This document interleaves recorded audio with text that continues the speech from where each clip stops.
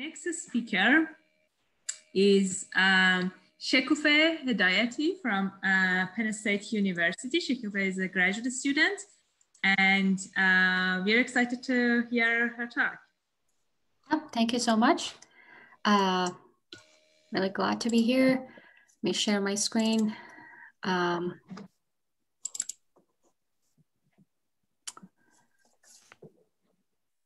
let me just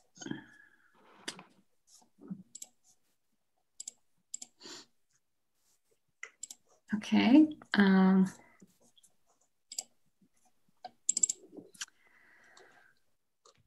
um, hello, everyone again. My name is Chico. Um, I'm going to talk about uh, a project that we've been uh, working on uh, for about a year. Its title is Encoding Complex Shapes in Memory, the VAE-BP model of working memory. However, as we've been working on this, uh, we came up with a new title. Uh, so I guess my animation is not working. Um, sorry about that. Um, is it is it because it's in the presentation mode? Oh, it's working now. Please share your screen. We don't have your screen now. Okay.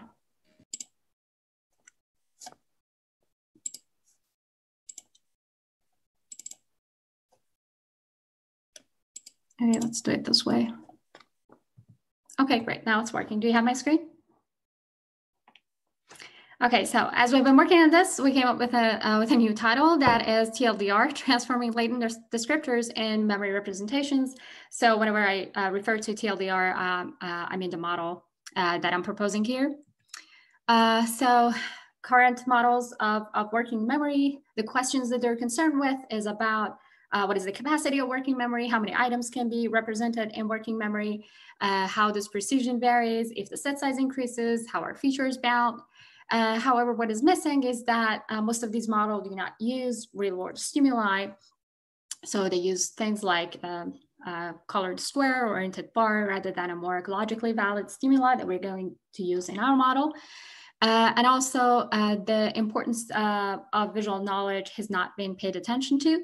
Uh, so um, these models do not uh, really allow for um, encoding uh, of familiar versus unfamiliar items, the things that we draw from our visual knowledge the, th or, and the things that we haven't seen before. The importance of visual knowledge has already been considered in more descriptive non-computational models. For example, a multi-component theory, uh, Baddeley and Hitch, um, they had uh, episodic long-term memory and visual semantics as subsystems of, of the working memory, and also uh, the activated long-term uh, memory theory um, says that working memory is nothing but an activated part of uh, the long-term memory. Uh, and also the importance uh, and the impact of visual knowledge in working memory has already been uh, shown in neural and behavioral experiments. Uh, for example, Chinese reader uh, can remember more Chinese char characters than non-Chinese reader or German uh, readers, for example, as you can see in Zimmer and Fisher data. Um, and also there are brain evidence showing that um, regions responsible for working memory, they show uh, reduced bold activity uh, when items are familiar versus when they are unfamiliar. Uh, so here we are going to propose a computational model, TLDR, that accounts for how visual knowledge impact working memory encoding. Uh, what are the behavioral characteristics of TLDR? Uh, it is reconstructive. So if we show people this image, uh, they're able to draw that image uh, from their memory as Carmichael did in 1929. Um, the, uh, the model can focus on relevant attributes. Uh, so uh, for example, there was a study uh, showing that if people are shown with um, an oriented arrow with a color, and they were asked about its color for 25 trials because they haven't been focusing on its orientation uh, in a surprise trial when they're asked to report the orientation, uh, they don't have a good memory for that. So their memory for orientation is poor. Uh, and also, uh, um, the, the working memory can remember novel stimuli. So as Lake and colleague did, uh, they showed people uh, different stimuli from uh, different characters from different language that people were not familiar with and haven't seen that specific configuration before, uh, but people were able to sort of draw that uh, characters from their memory with, with some variations. Uh, what are the neural uh, plausibility of, of the model? Uh, so uh, it has rapid encoding, rapid forgetting, which is one of the important characteristic of all working memories because uh, it's been shown that working memory is, um, uh, the information working memory is storing activations rather than synaptic weights, and that allows for rapid encoding and removing information. Um, also, it's consistent with the structure of the visual system as we go higher in the ventral stream from V1 to uh, V2 to IT cortex, uh, the representation becomes more complex uh, and abstract. Uh, and also visual knowledge part of the model um, is formed through synaptic weight adjustments. Uh, so just how um, humans, uh, human visual system is being trained through adjusting of synaptic weights by seeing a lot of visual examples in, throughout their lives. Uh, there are two important elements of the TLDR. Uh, one is uh, the visual uh, semantic one or the variational uh, visual knowledge one or the variational autoencoder or I call it VAE that has an encoder and a latent space and decoder. So in the, in, in the encoder, when image comes in, it's, it's encoded into the model and then there is uh, its compressed form um, it's represented in the latent space and then the decoder learns to decode that information and reconstruct it in the output uh, and that was proposed by and Welling in 2013. Uh, that's going to be the, the visual knowledge part of our model. However, we did some uh, changes to this original uh, model. And also a binding pool, uh, which was a memory model first um, done by Swan and Wyble in 2014. Uh, so we need to have a binding pool uh, that uh, allows for encoding information because the VAE itself cannot uh, hold uh, multiple objects. so this is the memory part of the model that can um, encode multiple objects. And then they are later they are um, connected together the way that I'm gonna talk about more details. so the binding pool component um, it has a type layer that represents high level uh, features. For example, for this oriented um, bar over here, it has a color and location and orientation that are represented in, in the type layer. Uh, there is a token that index um, and individuates objects uh, and can keep track of multiple items. Without tokens, we cannot store more than uh, one item or retrieve more than one item in, in the binding pool. And the binding pool layer um, uh, is the shared resource pool uh, that encodes the information. Uh, and the variational autoencoder, as I said, we made, we made some changes to it. Uh, so we trained this model uh, on uh, shape and color separately. we divided the latent space to shape and color maps uh, so that we can uh, represent shape in the shape map and color in the color map. And the reason to do this was uh, to sort of being able to focus on certain attributes um, and store them uh, into the memory, to be able to implement a top-down control and decide which attribute uh, should go to working memory because working memory is kind of selective to that. Uh, so the, the, this is the architecture of the whole model and the way that interacts with the binding pool. So the upside is the visual knowledge or the VAE modified VAE and the bottom is the binding pool. Uh, imagine that this image, uh, handwritten four, uh, comes into the model. It generates some activations in the layer one, and this activation is projected through fixed random weights to the binding pool. And then again, uh, with, uh, in, with an inverse multiplication, it goes back to the L1 and is reconstructed through the model and this is how the reconstruction is. And again, we tested this with, with different layers with L2. So L2 projects to the binding pool and goes back and reconstructed, also color and shape maps. And we wanted to see which one has a better, uh, you know, efficient reconstruction. Just talking about uh, more about the details, uh, the stimuli that we used were uh, MNIST digits, we colorized them with 10 different colors. So we ended up having 10 categories of digits from zero to nine and uh, 10 categories of colors, uh, red, yellow, blue, etc. Uh, and uh, to train the model, we trained the shape map with a shape objective function that minimizes the loss on gray images.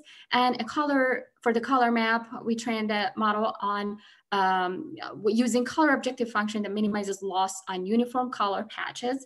And at um, each batch training, only one of these objective functions were active.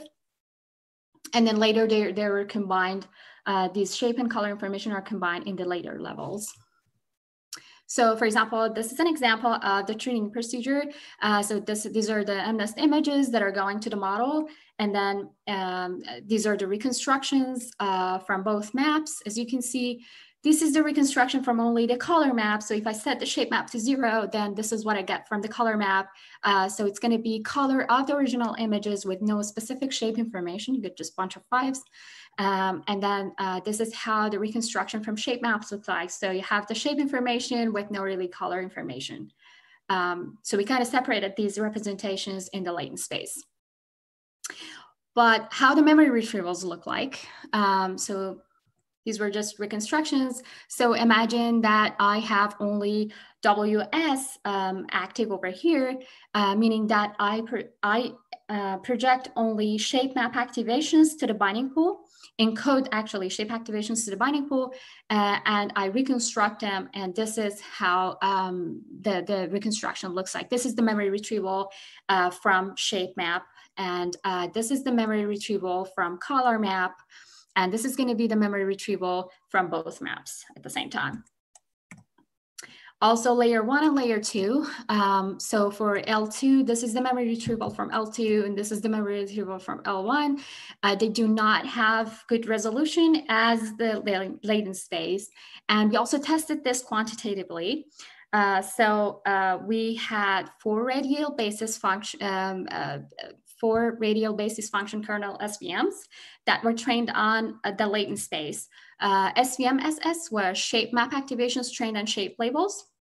And the accuracy uh, for the memory retrieval after it was projected to bind encoded into the binding pool and then retrieved was um, almost 76%. Uh, we had SVM-SC shape map activations trained on color labels. So this was to ensure that there's no color information in the shape map and the accuracy was like 12%. Uh, SVM uh, CC color map activations trained on color labels. Um, that was uh, that was pretty good again, 84%.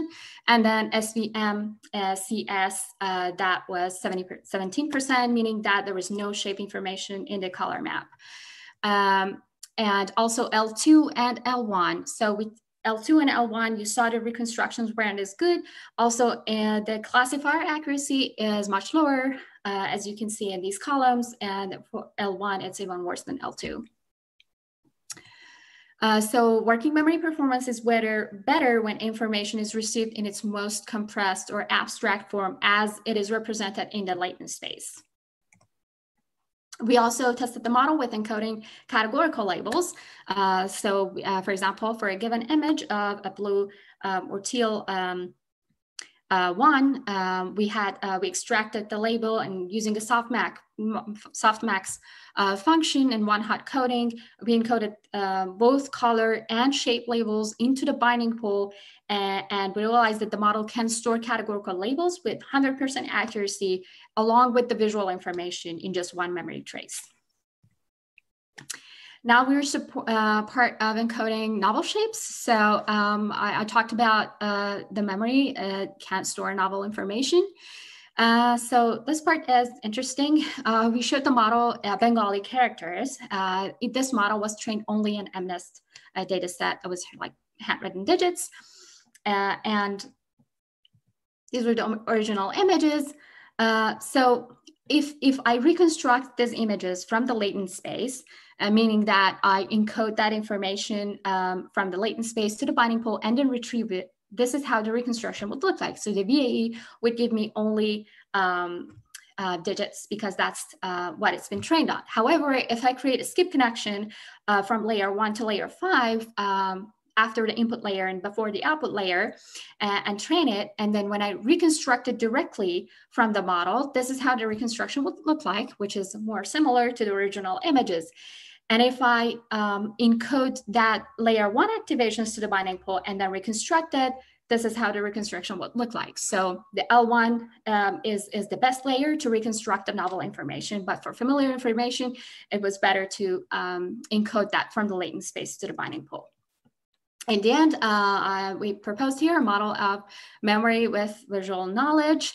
Uh, the model was reconstructive. So for a given image, it could reconstruct the image. It could focus on a relevant attribute, whether shape or its color, and also remember a novel stimuli like a Bengali character over here.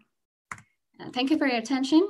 Um, I'd be happy to answer questions. Thank you, Shekoofeh, uh, for the great talk. Um, we don't have much time for question, but we can take um, this one. Um, so Brad asked that um, ELA and collaborators uh, have adapted noisy um, channel theorem for working memory. Does that make contact with uh, how you're thinking about binding pool or latent space? Noisy channel theorem. Um, well, um, yeah, well, I am not quite familiar with uh, that specific work. Uh, but I'm really interested to see uh, what that is about. Um, uh, but I think the, the binding pool um, idea is that, yes, so there is like a